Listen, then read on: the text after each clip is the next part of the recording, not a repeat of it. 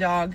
That's enough for me. A couple days later, she's like, So you don't want kids, but you have a dog. Do you have like a boyfriend or anything? And I was like, No, I've never had a boyfriend. She's like, How old are you? And I said, 27. She's like, And you've never had a boyfriend? And I like never really cared. But there's something about her like saying that that really hit me this time because like I've never been on even like two dates with the same person. Like even guys I've talked to or like hooked up with they'll slowly stop talking to me and then I find out they have a girlfriend or they get into a new relationship like a week later. And like when I was younger and I didn't have a boyfriend or a girlfriend, I'd be like, it's because I'm fat. I used to weigh like 320 pounds. I lost 160 pounds. It's not like I'm being hit up every day, every week, even every month with like people in my DMs or like messaging me on Snapchat trying to get with me. It's like no one hits me up. It's not even like I'm being selective with who I'm picking and like turning people away. It's just like people aren't coming up to me and I don't I don't understand. Not like I have an issue with people like wanting to hook up with me, but if it tries to go a step further, they're like, absolutely not, no. I don't want to just like hook up with random people that I don't know, so I'll tell people that I don't want to hook up with them until I know them, and then they're like, well, you're a prude. I'm like, I literally can't win. Why it's like hitting me so hard this time is the fact that she had the audacity to ask by choice, and I just sit there and I'm like, no, it's not by choice when I was younger, I was like, oh, it's because I'm fat. Oh, it's because I'm fat. Fat. Once I lose weight, I'll have no problem. And now that I'm like not fat, I'm just like, what is it? Reason? So now I'm gonna finish my energy drink and hit the gym until I can't feel my emotions anymore. Modern women are starting to wake up to the dream they've been living in for decades. A dream consisting of feminist propaganda, social media madness, and classic poor life choices. But modern women aren't starting to wake up because they're choosing to. They're waking up because they're forced to. By what? By the wall. Undefeated by anyone and everyone. When you meet the wall as a woman, it's a confrontation with truth that's often so impactful that it can blow your illusions and feminist BS beliefs to pieces. And that's exactly what's happening to countless women. We're seeing it all over social media, the privileged bubble that modern women have been living in for decades is finally showing signs of bursting. We're starting to see that in pretty much every major area of society, from dating to the workplace, modern women once enjoyed preferential hiring, but now company owners are starting to refuse to hire them because of the complications that a woman brings into the workplace. Smart employers are starting to realize that by caving into the demands of the woke mob, they are hurting their bottom line a woman is more likely to bring drama and gossip into the workplace. And this isn't just some stereotype. Behavioral psychologists have been talking about the ways in which women show aggression for years. And pretty much every way women choose to show aggression is something that's going to create a toxic work environment. Employers are realizing this. We're seeing a decrease in the privilege women have enjoyed in the workplace for years, but women chose this. Don't feel bad. This is entirely self inflicted. Before we go any deeper into this video, let me share the comment of the day. Shout out to Fenrir who said, Gentlemen, let's play a sad tune on our violins for these sad, lonely 304s. And eventually he edited the comment to say, Oh man, we practically got a whole orchestra here. This is the Brotherhood. And when you check out the replies to this comment, we got a whole band of men just supporting each other. That's what you gotta love about this Brotherhood. So don't forget to reach out to my email to claim your $5. As always, guys, I'll pick one comment from each video. It could be the funniest, the most liked, or one that I just really liked, so don't forget to leave a comment and you may be the next winner. So be sure to hit that like and sub button too as it helps out the channel a ton. Now, let's get back to the video.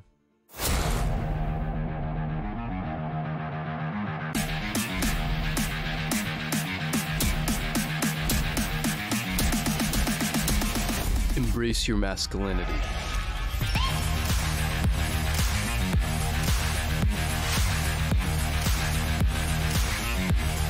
Don't mind the ropes, Nighty. I actually have something I want to say. I don't know when it started, but I realized I started to do this thing where I don't let myself actually feel the things that I feel. I don't let myself admit that it does overwhelm me that I'm 35 and single. I don't let myself feel the full weight of the times that I've been hurt in my life because I don't like to give those people any sort of power over me. I don't even like to say it to myself, let alone publicly, but then I kind of forget a really important piece of the puzzle. Vulnerability and sharing these feelings is where real progress is made. As much as I want to fight it and act like it doesn't get to me, that I'm 35 and I'm single and I don't have any prospects right now, isn't going to change what I really feel. It's hard. It's really hard to sit and admit that I have been hurt. It's hard to sit and admit that I have taken risk on love and it hasn't worked out. It's hard to admit to myself that it's impacted the way that I view dating. One thing I do know that I really like about myself is the fact that I'm never gonna give up trying. I'm never gonna give up on myself. And even though, yes, I am 35 and single, I'm also 35 with a clean slate. 35 and no longer in a toxic, abusive relationship. 35 and completely supporting myself. And even though it can be so overwhelming and sometimes embarrassing to not be where I thought I was to be, at least. Another bubble that's best is the pedestalization of attractive women. Women were able to glide through life easily, receiving preferential treatment and massive advantages just from being moderately attractive. But the thing is, they've been taking these advantages for granted. They've been assuming that it's because of their own talent, skill, or ability that things were coming so easy to them. This gave them a truly insufferable attitude of pure entitlement and inflated self importance. And now modern women are reaching their 30s and being bitch slapped by the wall. Suddenly, they're realizing how difficult life is outside of their privileged glass house now that they can't play the attractive women card. But the thing is, men are not being sympathetic to them, and that's because they're getting a small taste of what it's like to be a man. It's about time. This is leading to a change in the dating market that is truly unprecedented. Modern women's dating options are drying up because men are walking away in massive numbers. Society did not believe that men would ever do it. Society even dared men to try. But men said, hold my beer, and walked away. The level of power a man has when he walks away is something you should never underestimate. And society wasn't prepared for it. Now women are freaking out and asking where all the good men have gone. But the smart men know what game these women are playing. Women are just upset because their endless supply of validation and attention has dried up. They had no intention of dating any of these men because they didn't meet their ridiculous and uncompromising dating standards. This is yet another reason why we shouldn't feel bad. It's all for attention. Even gyms are done tolerating their BS. Men are leaving en masse, which is causing such an impact on the gym industry that they've been forced to bring in new rules against recording. Now, many big chain gyms are refusing to allow women to record their workouts. This is making women extremely mad, but it's all because their social media profiles will suffer. It has nothing to do with working out or health. It's all about trying to catch a man glancing in their direction in the frame so they can accuse him of being a creep and boost their views with massive numbers. When you're trying to understand modern women, it helps to remember that, more or less, everything a modern woman does is centered around gaining some sort of attention. Many women say that attention from men is the worst thing about being a woman. But when those same women no longer get attention anymore, they freak out about it and can't handle it. Modern women are being forced to self reflect because countless men are no longer choosing to get married. The abysmal state of divorce court laws, alimony payments, and custody battles has driven the vast majority of men away from the prospect of marriage. And now, only 6 out of every thousand men ever aspire to be married. And in my opinion, that number is still far too high when you consider all the risks involved. Men aren't getting married anymore, and it's freaking women out. But here's the reason why it's almost impossible to be sympathetic. We're not idiots. The entire time we've been watching these women rack up crazy body counts with Chads while pushing away great men who were willing to settle down. They had their chance, but now they want it again. But the same men that these women rejected have a very good memory. They remember how she behaved when the shoe was on the other foot. When he was the one interested in her, she was spiteful, nasty, and vicious. But just because she's been pumped and dumped by Chads for her entire adult life, she's not ready to find a nice beta bob provider who will save her from her terrible life choices. She's not interested in love. She's not interested in a man. She just wants to be bailed out. As men, we know this is going on. We know the kinds of games these women are playing, and we refuse to participate. This just makes modern women even more mad. Grab your popcorn because this is only going to get worse as more men increasingly become wise to the games women play. Why'd you stop going for the bad boys now at 29? I'm 29, babe. Like, we're done. All about the the good life, the soft life. I want to live well. Out on anything that causes me stress. But why were you chasing that at 22 and 23?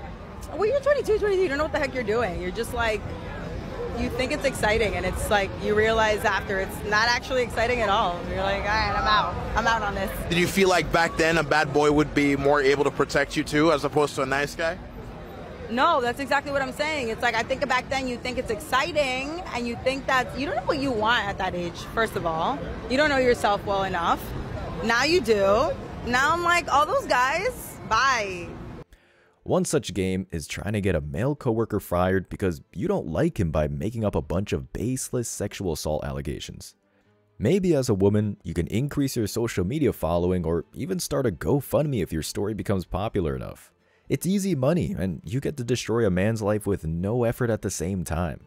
From a modern woman's perspective, it's a win win. But I've said it once, and I'll say it again men aren't all Homer Simpson. We aren't stupid. We can see that being alone with a woman at work, we're making ourselves extremely vulnerable. That's exactly why countless men are refusing to be alone with a woman at work without a third party present, or at the very least, a security camera recording CCTV footage the entire time. If she decides to make up some BS and accuse you of it, you've got a backup and you're safe. Men are becoming wise to the games modern women play and they're refusing to play them. And modern women absolutely hate it. One of the greatest privileges modern women enjoyed is being approached by men and not having to do any of the work at the beginning of a relationship. But because modern women have a habit of biting the hand that feeds them and ruining things for themselves, they attacked men as being creeps if they so much as looked in her direction.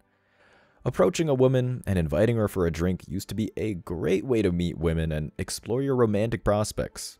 If you ever hope to be successful with this as a man, you need to learn to approach in a respectful way. But a tiny minority of men did not approach women in a respectful way, and women used that as an excuse to attack men as a gender. Suddenly, men were being accused of being creepy, perverted weirdos if they decided to say hello to a woman. And here's something that modern women need to understand one day actions have consequences. And one such consequence of this action is that men stopped approaching altogether.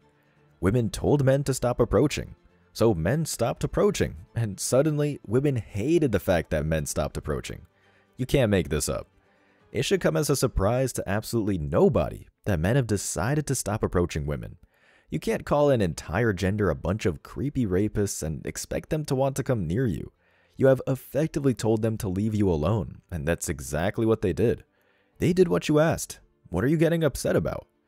One thing I find quite hilarious about this whole thing is that women who no man would ever dream of approaching were the most vocal about it. The most out of shape, blue haired, angry feminists with mustaches were screaming at men telling them to stop approaching them. Ladies, nobody was approaching you before anyway, and they're certainly not going to now. Modern women are starting to learn that blindly parroting feminist propaganda for three decades is a great way to completely alienate an entire gender and turn them against you. Some women are waking up and using this opportunity for some honest self reflection. You need to give credit where it's due. Some women have come through the other side of this societal shift and actually have the intelligence to examine their belief systems. Take a look at this video, for example. This woman is talking about the idea of men being born at the wall without advantages and privileges. Let me start by saying you have something there. You're right.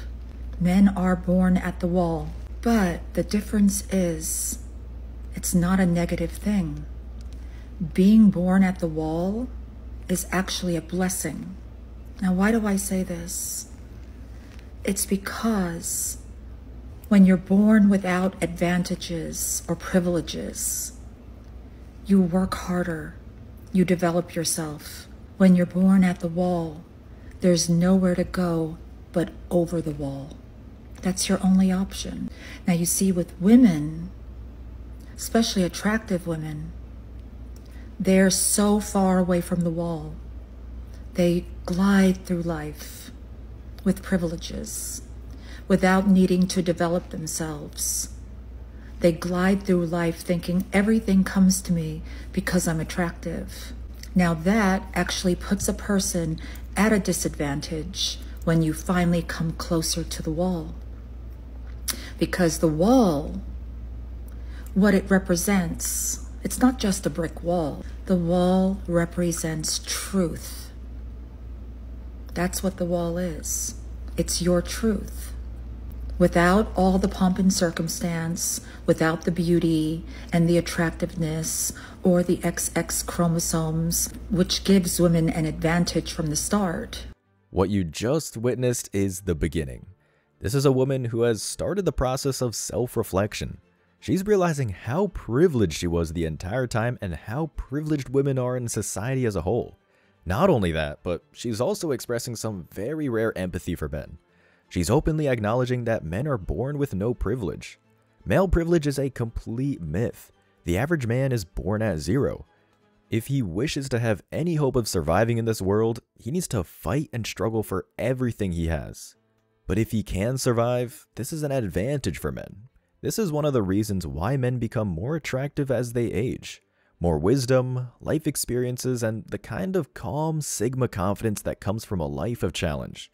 This is one of the reasons why women can't stand the fact that men get more attractive as they age. They think it's unfair, but it's just life. Empathy for the struggles of the average man is something society needs desperately. Modern women hitting the wall and realizing how wrong they've been can only be a good thing for everybody. After the wall hits, women realize how hard life is for the average man. They realize that the support that good men offered her in the past was actually a much better deal than she ever believed before. Modern women will trash a guy on TikTok for offering to pay 50 50, but this just shows a woman's complete lack of maturity. A woman who has experienced how challenging life can be is grateful for 50%. If she is lucky enough to come across a man who is willing to provide for her, a mature woman is respectful and grateful for the monumental gift he is offering her. But the fact is, most modern women would spit in the face of a man who offered to be her provider. But modern women think that this is oppression and control. They couldn't be more wrong about that. This is pure feminist propaganda, the exact type of propaganda that is effectively bringing society to its knees. As a man, the best thing you can possibly do is something that I hope you're doing already walk away. Yes, it's true that women are hitting the wall and realizing faster than ever what a mistake the past few decades have been, but there's still so much change that needs to be made we are nowhere near where we need to be as a society. Focus on yourself, focus on your friends, increase your relationship with your family, get in the best shape of your life, get your finances in order, and make some money. Prioritize your own peace and happiness while modern women go through this shift. Eventually, they will come crawling back when they realize how difficult life is without us. But when that happens, the real question will be will you take them back? As always, I wish you tremendous success. Now it's your turn. What do you think? Let me know your thoughts in the comment section below. Remember that if you leave the best comment, you'll get 5 bucks.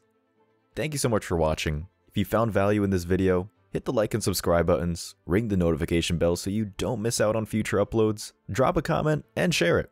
See you in the next video. Till next time.